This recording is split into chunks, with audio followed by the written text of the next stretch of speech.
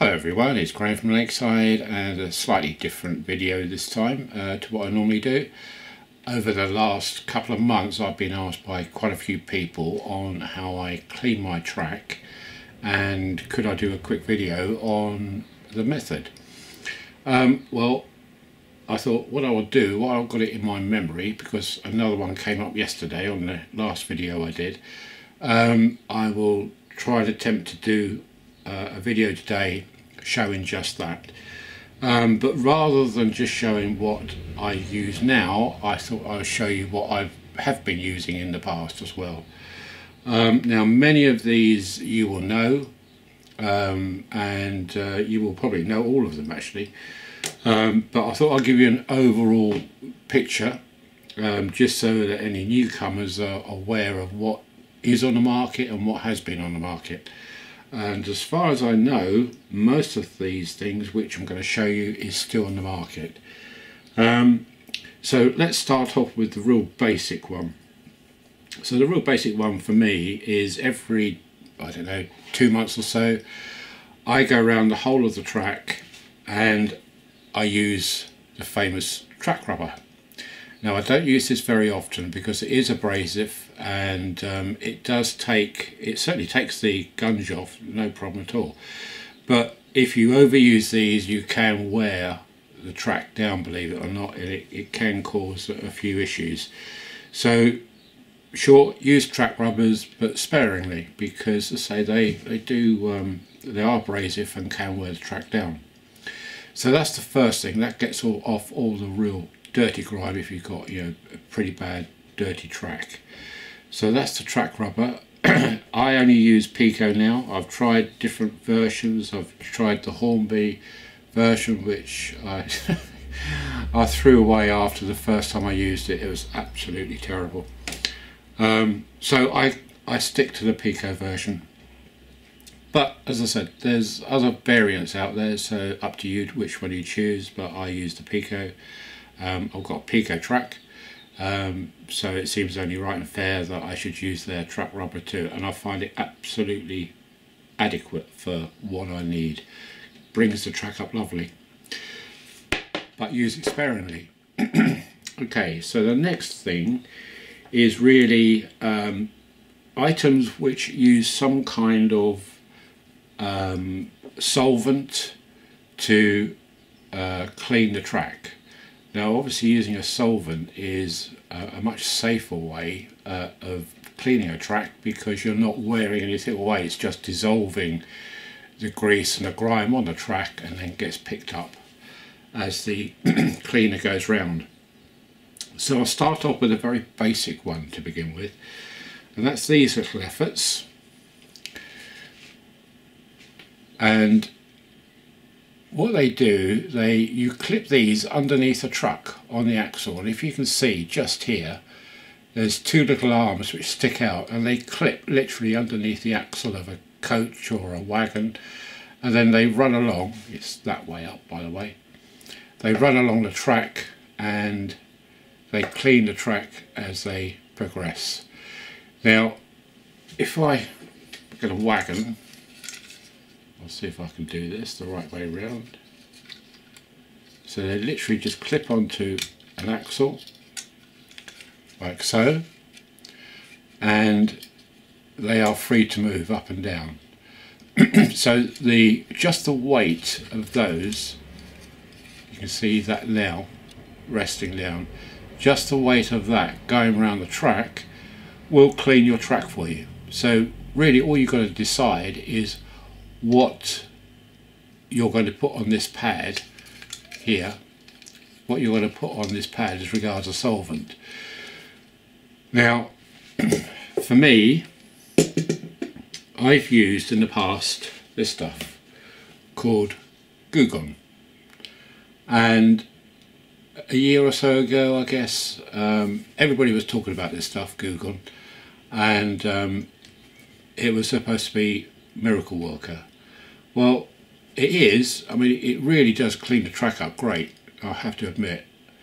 Um, the problem I have with this stuff is that um, after it's evaporated, it leaves I found that it leaves a small amount of, amount of residue on the track. And if I was to wipe my finger on the track, I could see on my finger the residue left by this Goo Gone. I really, really do not want that residue on the track. Yes, that liquid has evaporated from the track, but it's left a residue on the track. So I stopped using that for that particular reason.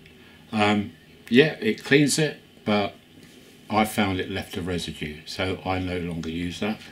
But other people use it and say it's fine, so the choice is yours. What I tend to use is isopropyl alcohol, uh, rubbing alcohol if you like.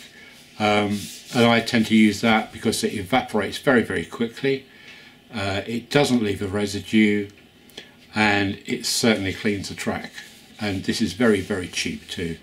Um, so and you can get a big bottle of like this for a few quid. So that's this is what I use is the uh, rubbing solution alcohol.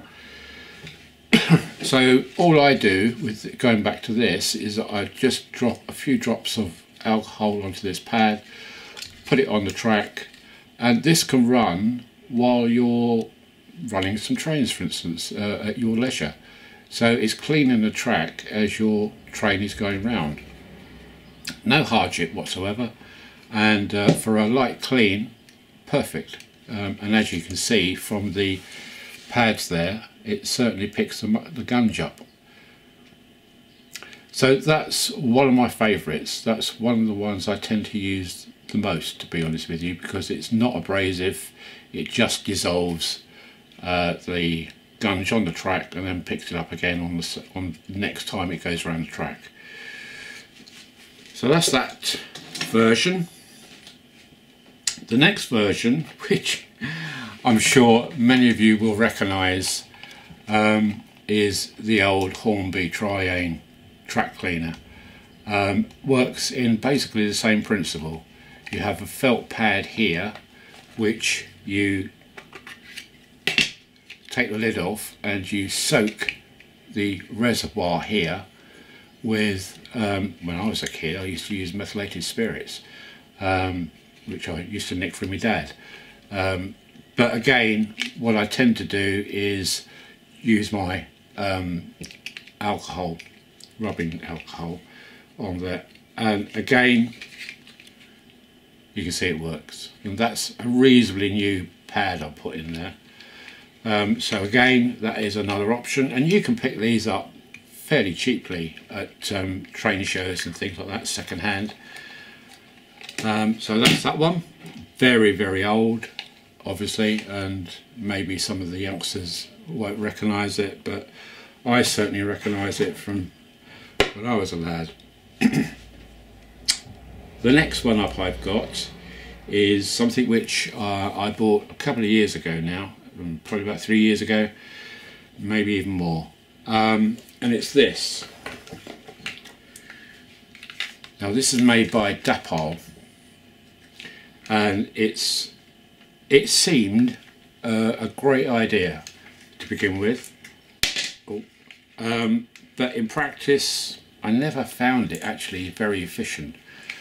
Um, it it should work great, but in practice um, it really isn't. Um, it seems like a lot of hard work and energy just to clean the track.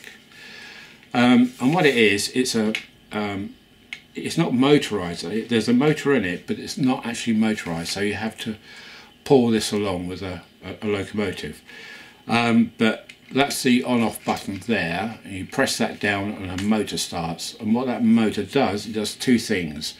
Um, it drives a disc here. Uh, that goes round and round, pretty much like a Dremel disc. Um, and it's again, if I can show you, it goes up and down the sprung weight so that when it's resting on the track, there's a bit of a spring in it to keep it on the track. And that disc is replaceable with either, uh, as you can see on there, I've got a very, very fine um, disc of emery cloth. Um, again abrasive, very abrasive.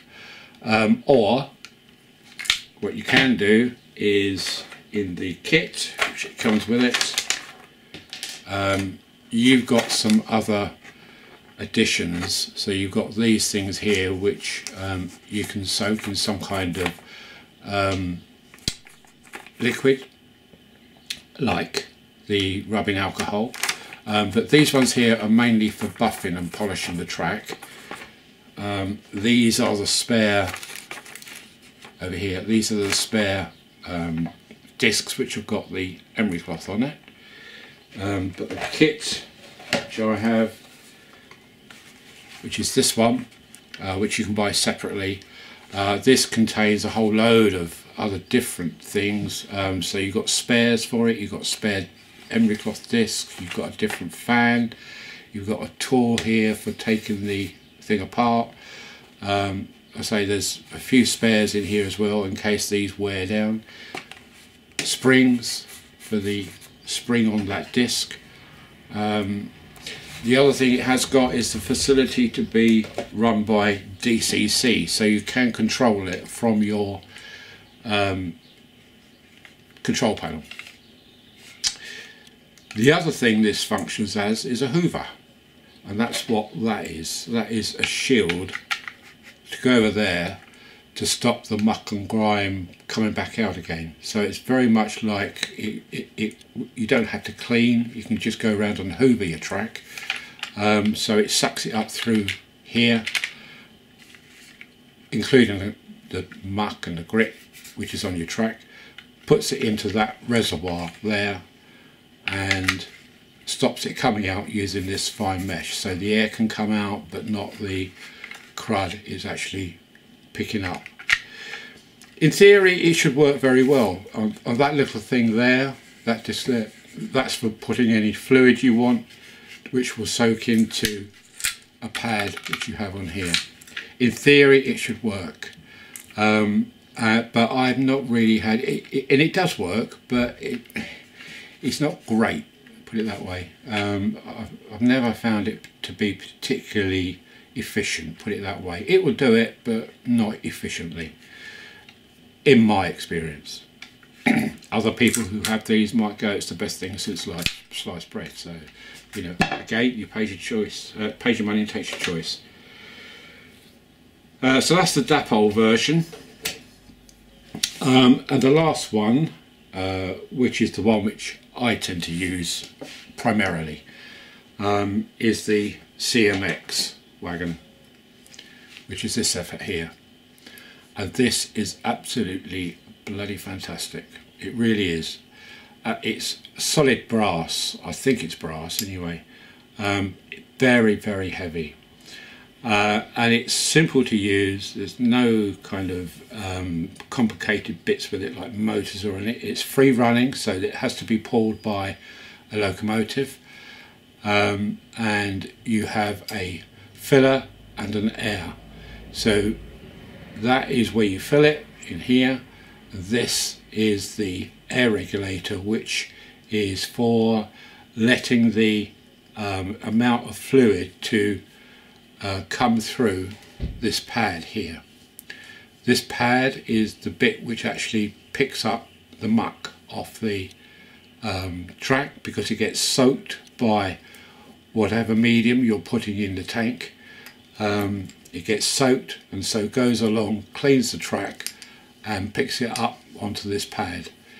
Now the kit comes with several things really, but it comes with uh, a long strip of replacement material which once this gets impregnated so much that it's you know you, have got to throw it away um, then you just replace this pad very simply by undoing that clip and that clip cutting off a piece of material and replacing it on the top. So it's literally a couple of minutes job to replace the material. And this I find to be the most efficient, the most non-abrasive solution to cleaning my track. And again, all you need to do is have a train running and having that um, on the track as it goes round. Some people have this facing forward, so the locomotive is here and you push it. Other people tend to pull it. The argument is that what it's doing is that as it's pushing, it's putting the liquid out on the track here and the locomotive is picking up some of that liquid and cleaning its wheels. well that's fine but the problem I find with that in theory is that if you're doing that yes you are getting the liquid from here but because it's now um, melted if you like the gunge which is on the track that can be picked up by the locomotive which is pushing it so I tend to pull I tend to pull this rather than push it. Because it's heavy you're going to need a reasonably powerful locomotive. Um, so I tend to use my class 24 Sulzer uh, diesel for this which pulls this beautifully. It can just trundle around at a low speed cleaning the track. That is my number one cleaner for track work again I used to use Goo Gone this stuff I used to use that but now I've gone over to using the alcohol, rubbing alcohol. Um, it's clean, efficient, evaporates very quickly and I'm not left with any residue. Um, so that's my number one pick if you like. It's quite expensive. This was, I think it was about £98 when I bought this and this was going back about three years ago. I have no idea how much they are now. They've probably improved it and it's probably gone up in price as well.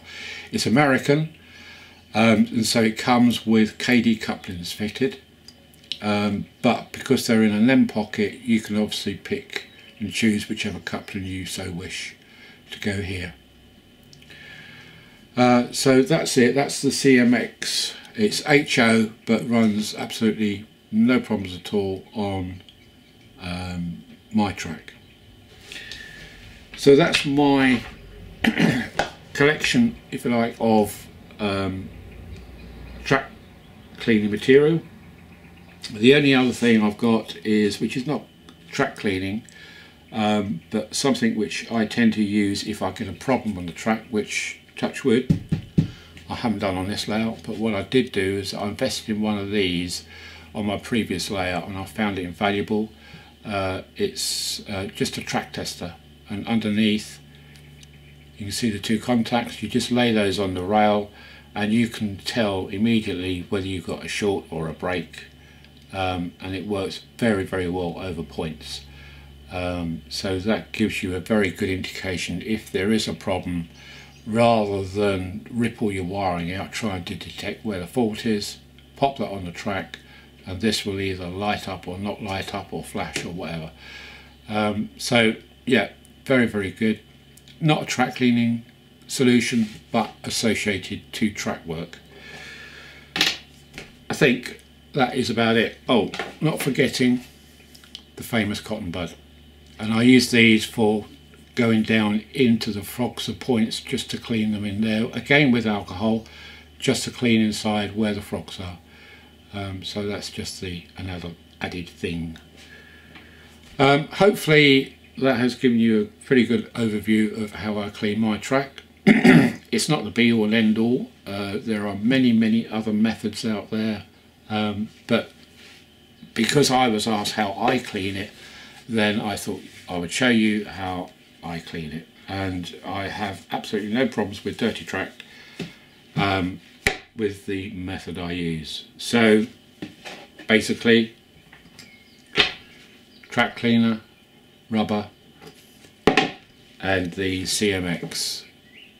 They are the two things I use. I don't use any of the other things anymore.